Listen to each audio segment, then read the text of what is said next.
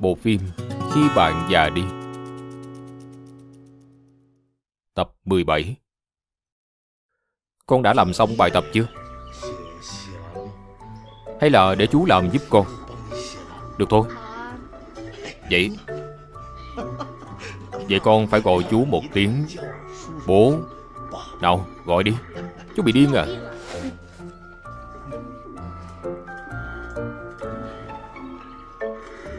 Chú bị điên, Chú bị điên. Cậu bảo tôi bảo con bé gọi tôi một tiếng bố, Lại nói thành bị thần kinh rồi. Cậu Cậu Cái lời cậu sao lại thành ra thế này? Cầm ly trà, Tôi thị phạm cho, Nhìn đây.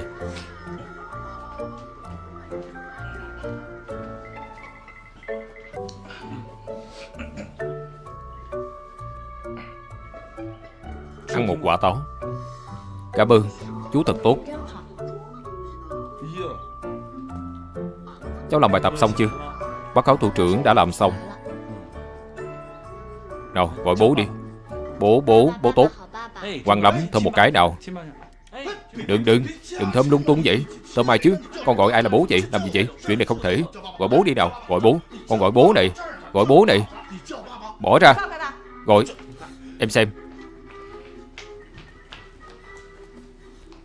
Bị điên, Con gái em nó đều nhìn ra hết đó. Em, Chuyện gọi bố này Có phải có thể tùy tiện gọi như vậy sao? Lên đó gọi là bố, Gọi như vậy. Chẳng phải là xong rồi sao? Xong rồi hay sao? Có liên quan gì tới anh? Có liên quan Có liên quan gì tới anh à? Bà bối, Con không thể tùy tiện gọi bố như thế. Con xem chú kia đang không vui kìa. Không phải chú, Mà là cậu. Đó là anh trai của mẹ. Con phải gọi là cậu. Gọi là cậu lớn. Con không gọi tùy tiện đâu. Con nhìn thấy anh đẹp trai mới gọi. Ghê thấy chưa? Người ta là trẻ con đó. Cảm thấy đẹp trai mới gọi là bố đấy. Cậu lớn à Anh bình tĩnh chút đi. Không sao đâu. Được rồi, Tôi cũng không nấu cơm cho hai anh đâu. Đi về đi. Mẹ, Mới chơi được nửa tiếng thôi. Con có thể chơi thêm chút nữa không? Đi xem hoạt hình đi. Nào đâu, Đến đây với bố nào. Xem cùng bố Bố con mình xem hoạt hình. Bố gì chứ?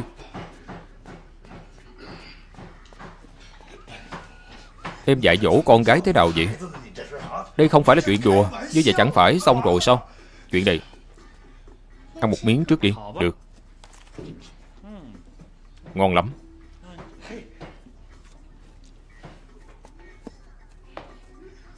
Chuyện gọi bố này Có phải là em dạy không? Em chẳng phải cố tình như vậy chứ. Là em dạy đó, Đã làm sao? Vậy Vậy có thể làm thế nào được? Anh có bệnh, Anh đi chữa. Em đừng giận. Để anh làm, Em đừng giận. Không phải chuyện gì to tát. Không phải hai chúng ta. Đây là Thủy Cung này. Em lại đây. Chuyện này. Anh không có ý trách em. Em có vấn đề gì? Em biết không? Em dạy dỗ con cái có vấn đề. Không phải em nói em không làm. Em vừa thức dậy Là nhìn thấy. Em không muốn nghe, phải không? Em không muốn nghe, Anh cũng phải nói. Cậu nói tôi nghe xem nào. Tôi không tin cậu, Con bé. Con bé lại thích cậu như vậy. Chắc chắn cậu đã dở trò gì đó. Có phải không? Cậu đã dở trò gì? Có thể nói cho tôi biết có được không? Cậu anh đừng tức giận. Tôi hỏi anh Anh không mua vé mà lại muốn vào cổng công viên. Tôi mua vé gì Tôi vào công viên làm gì? Cậu nói nhanh lên. Được rồi. Tôi đây vừa hay, Còn có hai tấm vé vào cửa Cho anh mượn. Nào. Đây là vé ngày mai. Đây là vé ngày kia. Tôi xem nào. Dùng cái này là được gọi bố à? Cậu còn chơi trò hối lộ à? Cố gắng nắm bắt đi. Cuộc sống hạnh phúc của anh sắp bắt đầu rồi. Sao tôi lại thấy là Cuộc sống hạnh phúc của cậu sắp bắt đầu rồi? Cuộc sống hạnh phúc của tôi Kết thúc rồi. Con bé hai Bé hai nhanh tới đây. Con đã tan làm chưa? Con đến đây giúp mẹ chăm sóc ông già. Bác Tôn vừa gọi điện, Nói hôm nay trong khu lĩnh dầu Để đến xem. Mẹ quên mất việc này. Con xem, thật là Con đang bận đây mẹ. Con có việc gì? Người ta trong khu cũng phải tan làm. Mẹ nói cho con biết Bỏ lỡ là không còn cơ hội nữa đâu. Hơn nữa, lần lĩnh dầu tiếp theo không biết là năm tháng nào. Được rồi, con biết rồi. Lát con về. Được rồi không nói nữa. Nhanh lên đó. Thật là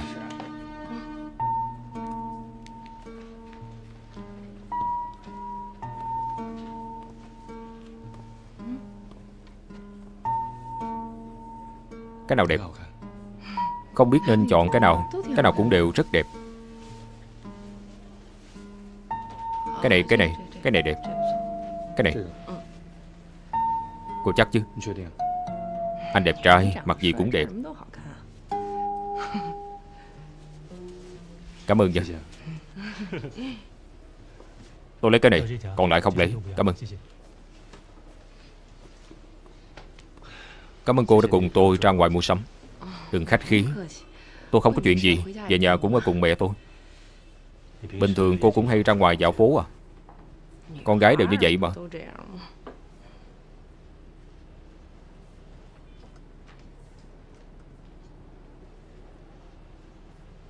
Sao vậy? Không sao.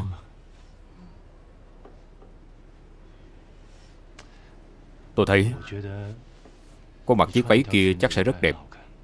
Chiếc nào? Chiếc màu hồng đó. Tôi không cần. Tôi không thiếu quần áo. Tôi tặng cô nha. Không cần không cần. Tôi cũng chưa tặng quà. Không cần. Tôi nhiều quần áo lắm. Thật ra trông cũng được đó. Cho hỏi có sai trung không? Con bé này sao vẫn còn chưa tới chứ? Cô đừng ơi, sao còn lề mề vậy? Cơm nước xong xuôi rồi vẫn còn đói đấy. Mẹ đi đi.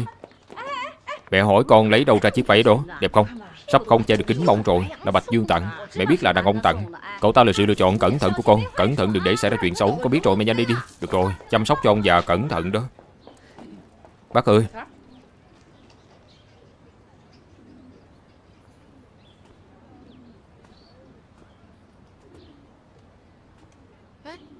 Nhưng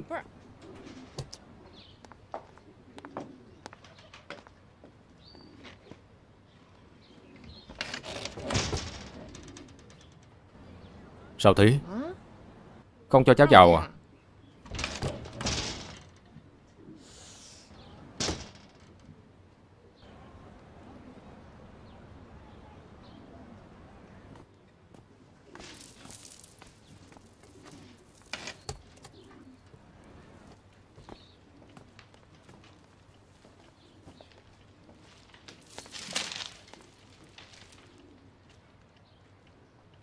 Tâm trạng bác không tốt à?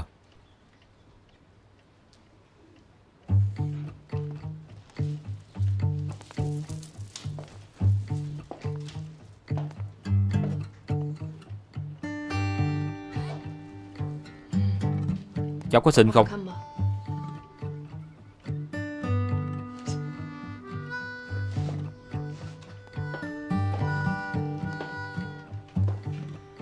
Được rồi. Hôm nay cháu ở đây cùng bác.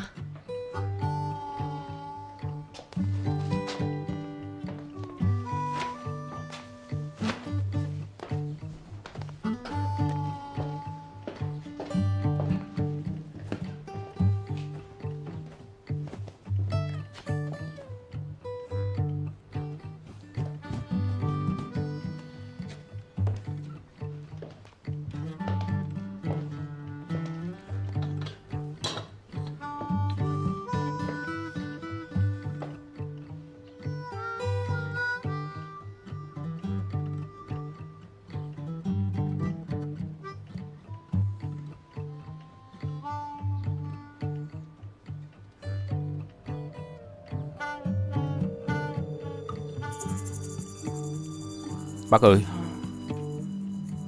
Cháu biết Có vài lời nói với bác. Bác cũng không hiểu được. Nhưng cháu nghĩ đi nghĩ lại.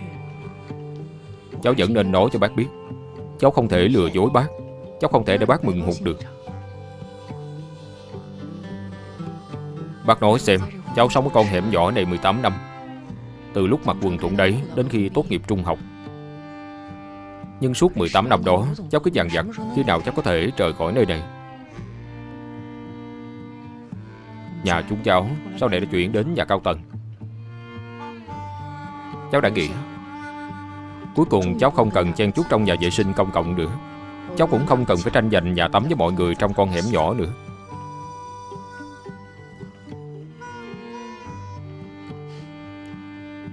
Nghĩ lại cũng thật buồn cười.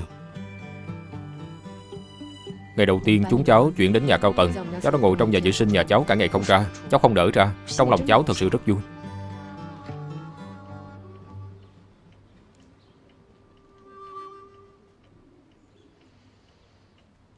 Nhưng cháu biết, Cho dù cháu làm chuyện gì, Chuyển đến nơi như thế nào, Cháu mãi vẫn là cô gái xuất thân từ con hẻm nhỏ. Cháu không thể thay đổi được điều này.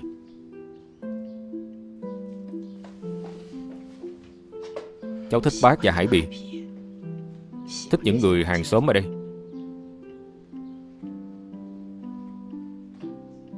Nhưng cháu không thể chấp nhận.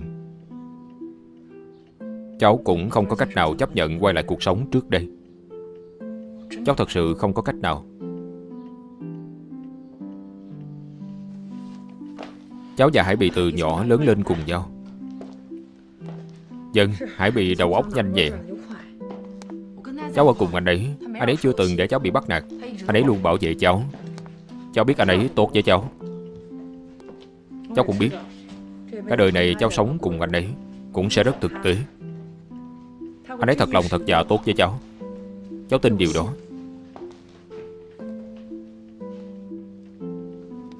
Nhưng tình yêu không phải như thế. Hai chúng cháu quá quen thuộc nhau. Quen đến mức giống như vợ chồng Cùng nhau sống qua 10 năm, Không thể tiếp tục sống được với nhau nữa. Đến việc ôm ấp, Cháu cũng thấy không có sức lực.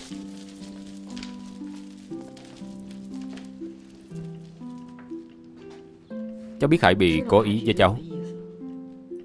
Cháu cũng biết. Bác hy vọng hai chúng cháu có thể bên nhau. Nhưng Hải Bì không cho cháu được thứ cháu muốn. Điều này không chỉ là vật chất, Mà còn ở tinh thần nữa. Bác nói cháu và Hải Bì ở cạnh nhau, Ngoài cười nói trêu đùa chọc giận nhau. Thỉnh thoảng có lúc tâm trạng cháu không tốt, Anh ấy cũng an ủi cháu. Những phương diện khác, Thật sự không có cách nào để thấu hiểu nhau.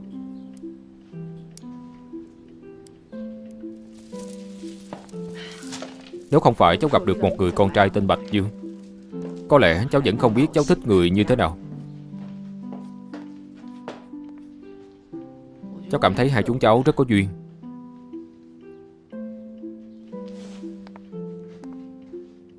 Cả đời này chưa từng gặp người đàn ông nào như vậy. Từ con người anh ấy, Cháu cảm nhận được Hứng thú, Căng thẳng Kích động. Bác nói xem đây có phải là điều mà một người con gái cảm nhận được từ một người con trai không? Bác viết gì thế?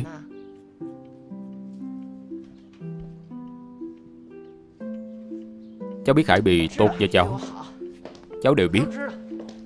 Cháu cũng biết những lời này thật sự không nên nói ra. Nhưng không nói, cháu sẽ thấy khó chịu trong lòng. Cháu không mong muốn nhất Đó là sợ bác và Hải Bì Hai người hiểu lầm cháu Thất vọng về cháu. Cháu cũng không muốn người ngoài hay chuyện khác Phá hỏng mối quan hệ giữa chúng ta. Cháu thật sự không muốn. Nhưng cháu không thể ích kỷ như vậy. Cháu không thể ích kỷ lợi dụng tình cảm của Hải Bì. Cháu không đền đáp được những gì anh ấy đã hy sinh.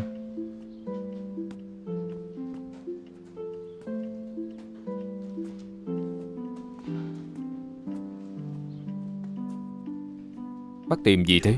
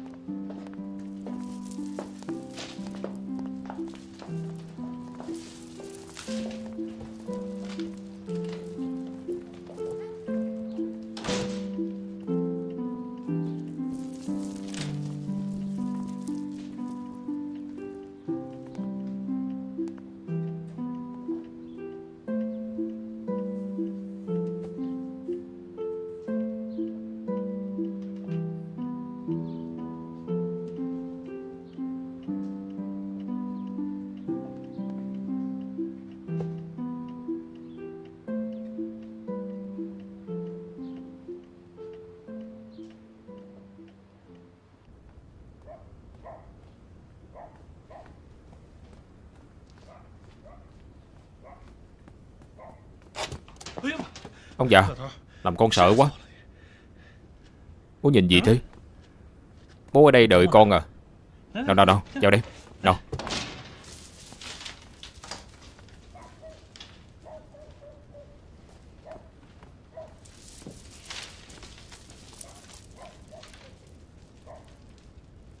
Bố nhìn gì vậy?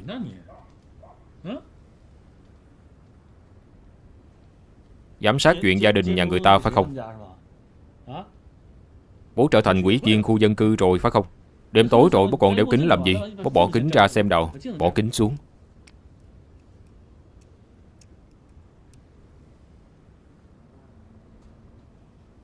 Ông già, ông sao vậy?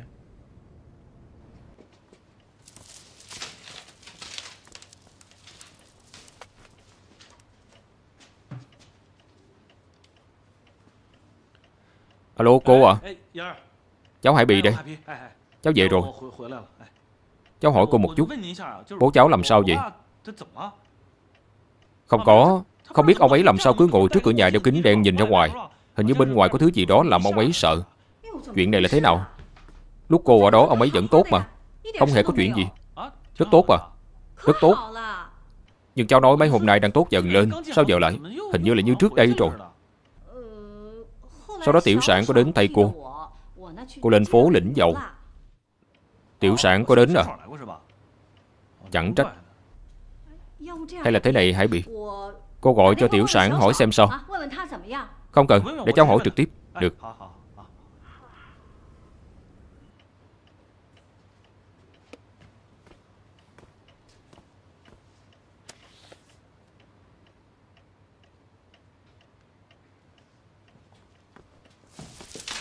Ông già Ông già.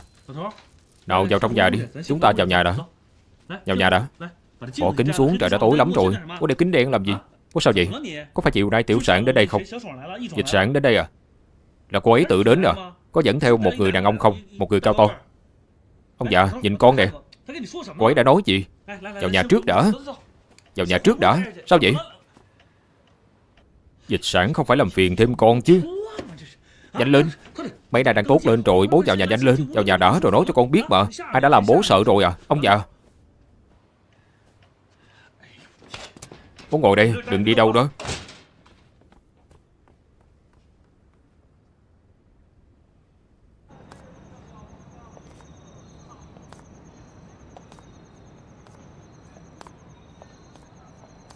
Lưu Hải Bị Sao anh tới đây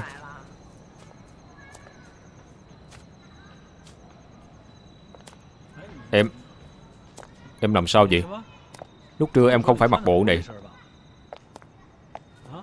Em được đó. Một ngày em thay mấy bộ.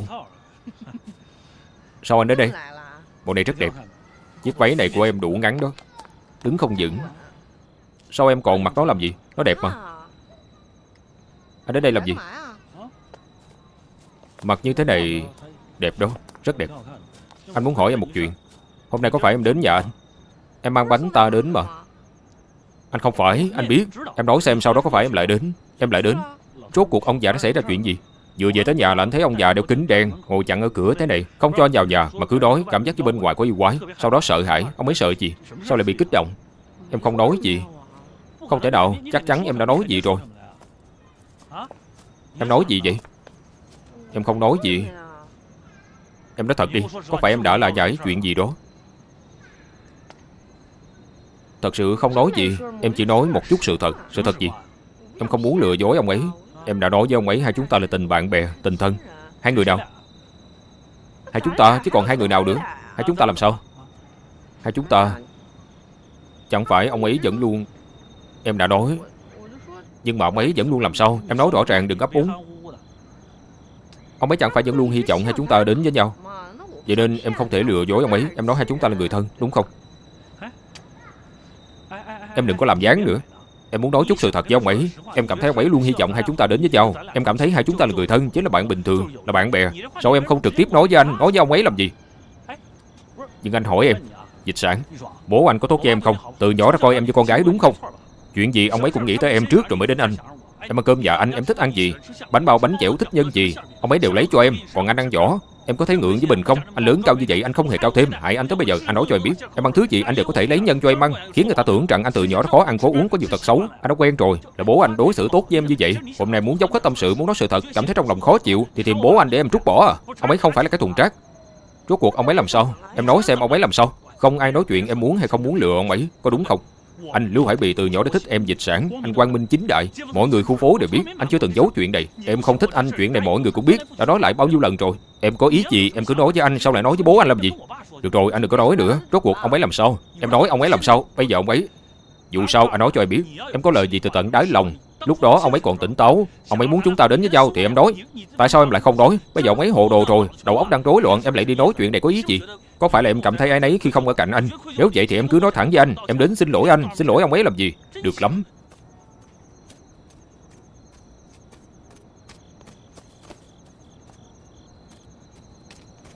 Ngoài ông ấy ra, em còn có thể nói được với ai?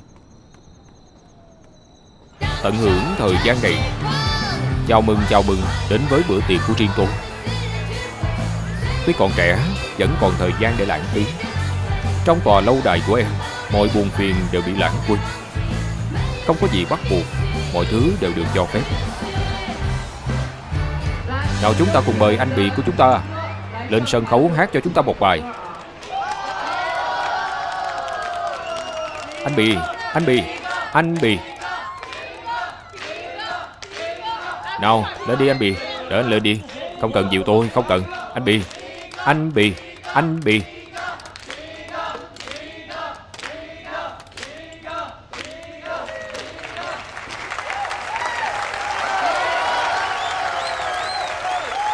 Không hát được nữa. Lưỡi cứng đờ rồi. Tôi đã ra khỏi hội nhóm ca nhạc rồi. Vậy Tôi kể cho mọi người nghe câu chuyện cười. Nói là có một có một con chuột. Có một con chuột. Yêu một con dơi. Con dơi suốt ngày bay lượn trên trời. Con chuột thì suốt ngày chạy dưới đất. Người ta hỏi con chuột này làm gì thế? Sao không yêu những con chuột khác? Sao lại cứ phải đi yêu con dơi đó? Con chuột nói Chỉ ít cô ấy cũng là một tiếp viên hàng không. Tôi lại kể một câu chuyện khác về con chuột có một con chuột. Nó là con chuột nhắt. Vẫn còn chưa lớn đã cùng mẹ lên phố đi mua thức ăn Đi dạo phố. Hôm nay một con mèo xuất hiện. Con mèo cố gắng chạy đuổi theo hai con chuột. Hai con chuột chạy thục mạng. Chỗ nào cũng là mèo. Con chuột cứ chạy, cứ chạy. Chuột mẹ liền dẫn chuột con trẻ vào một góc tường Của một ngõ cụt. Không chạy được nữa. Lúc này mèo từ bên ngoài vừa đúng lúc tìm đến. Chuột mẹ sốt ruột lo lắng. Lo lắng quá nó đột nhiên Kêu gâu gâu gâu. Kêu lên ba tiếng sau đó con mèo nghe thấy, Tưởng là có chó, liền quay đầu bỏ chạy. Chạy đi rồi, Chuột mẹ mới nói với chuột con, Nói là con trai à Hãy nhớ, Con hãy học thêm một ngoại ngữ nữa, Quan trọng biết bao. Tôi có quen một người, Từ sáng tới tối học tiếng Anh, Con chuột muốn làm con dơi. Có thể tìm được quý ông hoàn hảo, Còn bản thân mình là quý bà hoàn hảo, liền nghĩ rằng bản thân mình không phải là người tầm thường, Có tiền là được à. Ngày ngày lăn lộn kiếm sống, Có gì là ghê gớm chứ. Đủ rồi anh bị anh bị uống say quá rồi. Xong rồi để chúng tôi cùng khuấy động với mọi người. Tốt.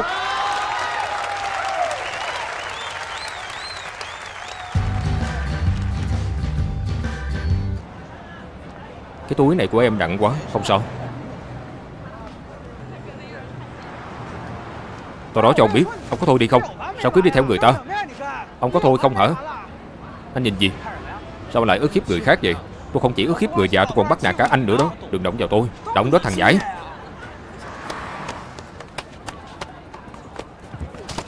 Tôi nói cho anh biết, Vậy còn nhẹ đó.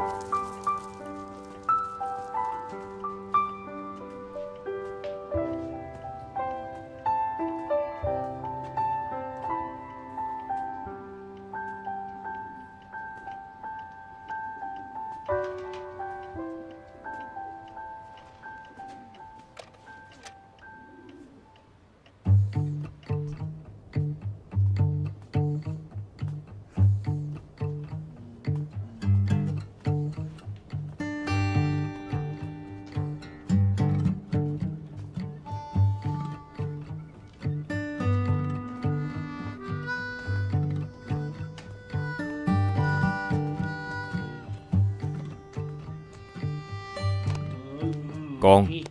Ngồi đây một mình làm rầm gì đó?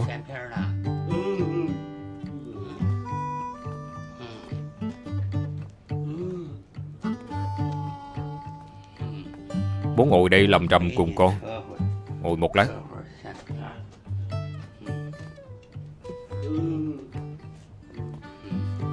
Bố. Lúc đó mẹ của bố Cứ kể chuyện ánh trăng cho bố nghe. Ánh trăng. Bây giờ ánh trăng chỉ có trăng Chứ không sáng nữa. Lúc đó ánh trăng Rất Rất cao, rất cao, rất sáng, rất sáng. Tam tôn tử Mẹ của bố còn nói trên đó có hàng Nga. Tam tôn tử cho bố ánh trăng sáng. Bố của bố. Không nói với bố những chuyện này. Bố của bố. Thế bố của con kể câu chuyện gì cho con nghe? Về nhà chăm sóc bố của con. Về nhà hầu hạ bố của con. Đúng rồi. Bố của bố kể chuyện ngu lan chức nữ. Về nhà chăm sóc bố của con. Bố biết không? Bố của con. Bố của con. Bố của con đầu óc có vấn đề. Bố cũng không biết. Lúc đó còn nhỏ, Cũng không biết ý nghĩa là gì. Theo kịp ông ấy, Theo kịp đầu óc ông ấy có vấn đề. Ngưu Lan gặp xui xẻo rồi, Tam tôn tử Và chức nữ. Chuyện này là thế nào? Tôi nói hai bố con các cười Đêm hôm rồi còn ngồi đấy làm gì? Ngồi đấy làm gì? Làm gì mà ngồi đấy Vào nhà đi. Đang nói chuyện nguyên thiên mà, Nói chuyện vào nhà thôi. Cô nói cháu, Nó lại uống say rồi. Say tới mức này mùi rượu. Đứng dậy, Cô không phải tiểu sản. Trời ơi, Nặng như con heo chết. Rất lâu rất lâu rồi, Dì Thiết lại đây. Lại đây giúp tôi một tay. Giúp bà Đâu, Mẹ của tôi Nói chức nữ là ai? Ngồi xuống đây nói chuyện chức nữ. Chức nữ là ai? Chức nữ. Tôi đã nghĩ rất lâu rất lâu. Được. Nào nào nào. Một, hai, ba lên. Cố lên. Đỡ đỡ. Chức nữ chính là Được rồi. Nào nào nào. Đừng đi ra ngoài, Đừng đi ra ngoài. Nào nào. Đi vào trong. Vào trong. Nhanh nhanh nhanh. Vào bên trong. Nhanh. Sao cháu uống tới mức này cơ chứ? Không sao đâu. Nào, Không sao, thật đó, Không sao. Đừng có dấp ngã. Thật sự không sao. Đừng dấp ngã. Không uống Không uống nữa. Không uống nữa, Thật đó. Tiểu sản Tiểu sản đừng lo, Không sao đâu. Không sao. Tiểu sản Tiểu sản. Nào, tiểu sản Tiểu sản, Anh nói cho em biết. Anh mừng cho em, Có biết không? Thật sự mừng cho em. Em và tên ngoại quốc nữa dời đó đến với nhau. Anh thật sự rất vui. Không phải anh buồn anh uống Mà là anh vui anh mới uống. Em có biết không? Anh mừng cho em tiểu sản. Tiểu sản. Tiểu sản. Tiểu sản. Anh biết. Anh không có hy vọng. Không có chút hy vọng nào. Anh là một tên ngốc. Ông xem cậu ấy uống nhiều tới mức. Uống tới mức thành ra thế này. Còn tưởng ông là tiểu sản nữa. Anh là tên ngốc. Xong rồi, đều đã về nhà Cũng muộn lắm rồi. Có chuyện gì cứ gọi tôi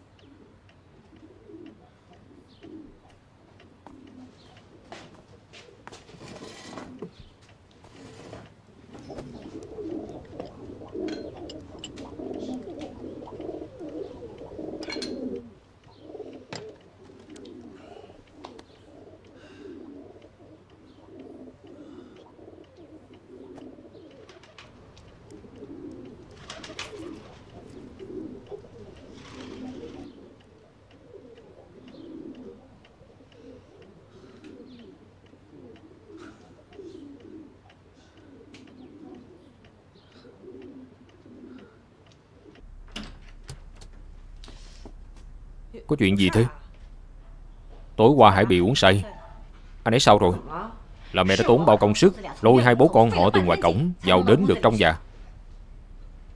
Sao con không biết chuyện này? Sao con biết được? Con cả ngày bận chuyện trên trời dưới biển, Có lúc nào con quan tâm tới người thân, Bạn bè đâu.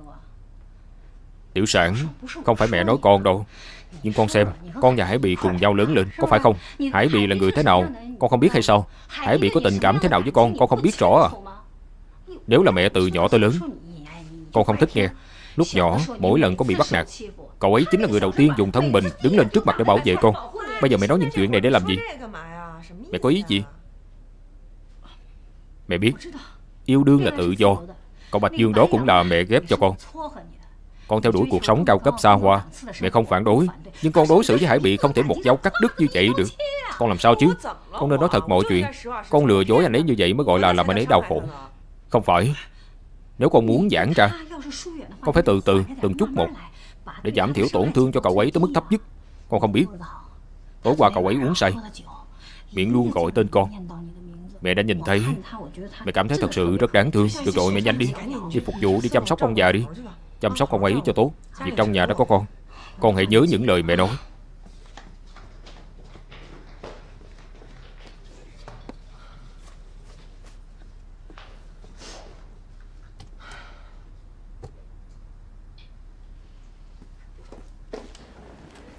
Con thật sự không thể cứ uống rượu bừa bãi được Bị trật chân mà còn không biết.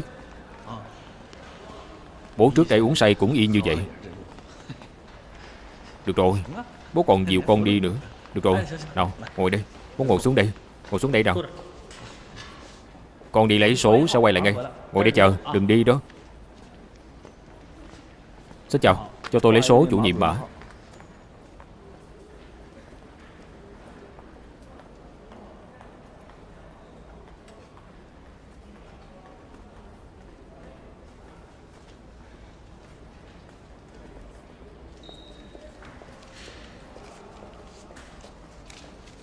Vừa hay đúng lúc. Cảm ơn.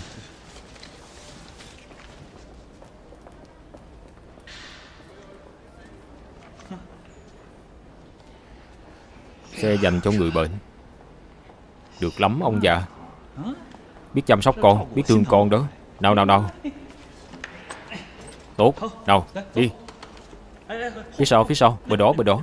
Phía sau phía sau. Bên này. Đúng rồi. Khoa nội thần kinh Phòng khám số 3 Tốt, đi thẳng.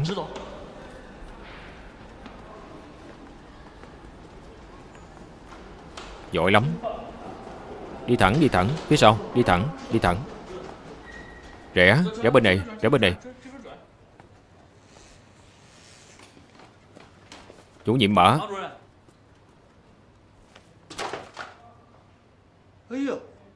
Đây là kỳ tích đó Đâu đâu đâu Vào nhanh đi. Ông xem, Đây đúng là kỳ tích đó. Chân tôi bị trật xương. Ông ấy là còn muốn tìm xe lăn cho tôi để đẩy tôi. Ông nói xem chuyện này là sao. Nhưng cậu nói cho tôi biết trước đã. Ông ấy làm sao trở nên thế này? Tôi hỏi ông trước đã. Tình trạng này của ông ấy mỗi ngày đều tốt lên. Có phải là bệnh của ông ấy có tiến triển không? Bệnh đạn trí ở người già. Thường không thể chữa khỏi hoàn toàn. Nhưng bây giờ tình trạng của ông ấy, Tôi cũng không thể nói một cách tuyệt đối được như vậy có nghĩa là vẫn có thể chữa được, đúng chứ? Theo như tình hình trước mắt, Trình độ chữa bệnh Alzheimer trong nước ta Không lạc quan cho lắm. Vậy rốt cuộc bệnh của ông ấy có thể chữa được không? Đến bệnh S còn có trường hợp chữa khỏi. Tất nhiên ông ấy là một kỳ tích rồi. Cậu nói tôi nghe xem, Kỳ tích này là ông ấy tạo nên Hay là cậu giúp ông ấy tạo nên? Còn nói với bố Bố nghe thấy rồi đó. Chủ nhiệm mã nói thế nào? Nói bố là một kỳ tích. Bố biết không? Bố đã tạo ra kỳ tích. Nhưng bố không được kiêu ngạo Bố biết không? Tuy bố đã tạo nên kỳ tích, Nhưng bố cần biết kỳ tích này của bố Một nửa là do con tạo nên. Bố biết không? Cái xe lăn đó. Xe lăn của bố tôi sao lại trong tay anh chứ? Cái gì? Xe lăn của bố tôi sao lại trong tay các người? Các người lấy nó từ đâu? Các người trộm xe lăn à? Xe bệnh nhân. Lấy ở đâu? Là xe của các người à? Không phải không phải. Xin lỗi nhé. Đừng đừng đừng. Cô nói xe lăn này là của bố cô. Đúng vậy là của chúng tôi. Không phải của bệnh viện à. Tất nhiên rồi. Sao bệnh nhân? Đây. Chân bị đau. Bố làm gì vậy? Sao bố lại lấy xe lăn của người ta? Xe bệnh nhân. Cái gì? Xe bệnh nhân. Xin lỗi nha. Đầu óc bố tôi Vừa mới nói là bố tạo ra kỳ tích. Bố có tiến bộ. Sao bây giờ bố lại gây quả nữa rồi? Con không thể nói bố dạy câu được à? Bố tôi, ông ấy. Các anh, các anh chờ một chút. Chuyện này là thế nào? Bố, ông già. Bố làm vậy là ý gì? Đi nhanh thôi. Xe bệnh nhân Anh không được đi. Đi nhanh lên. Bảo vệ sao lại để họ đi như vậy?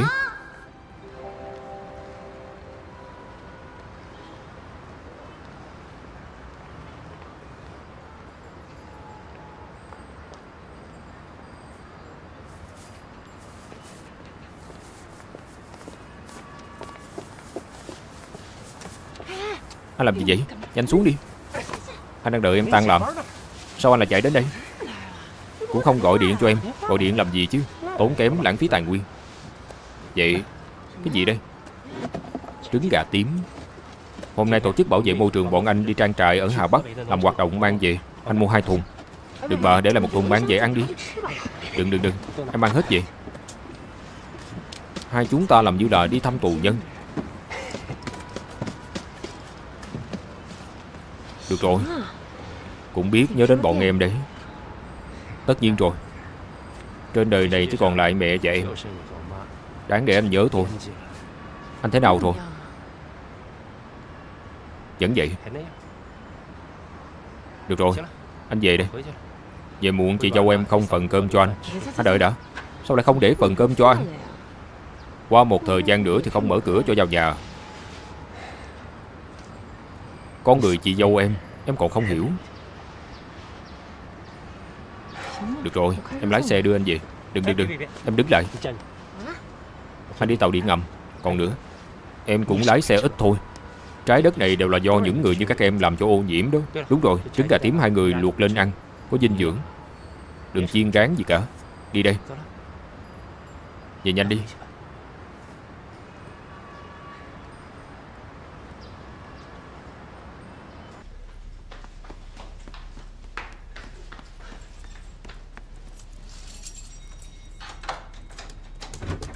Anh về rồi.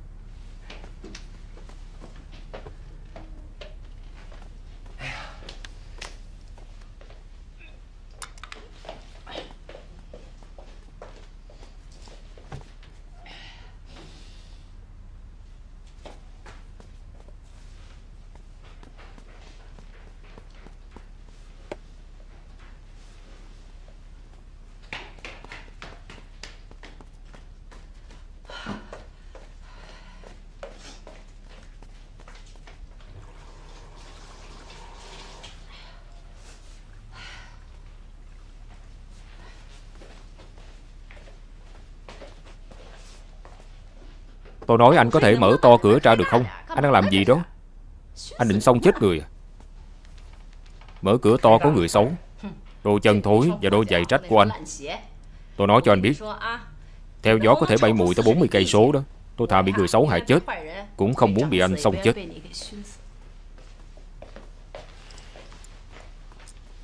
Không phải tôi bảo anh đi mua trứng gà sao? Cho tiểu sản rồi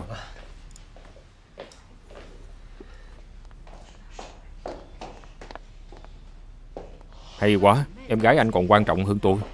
Tôi nói anh đi tặng trứng gà. Sao anh không ở đó ăn cơm? Anh về làm gì? Thật xin lỗi Không nấu cơm phần của anh. Chị dâu đang ăn cơm mà, Sao em lại đến đây? Em không đến làm sao biết được? Anh còn thê thảm tới mức này. Nói gì thế? Làm gì vậy?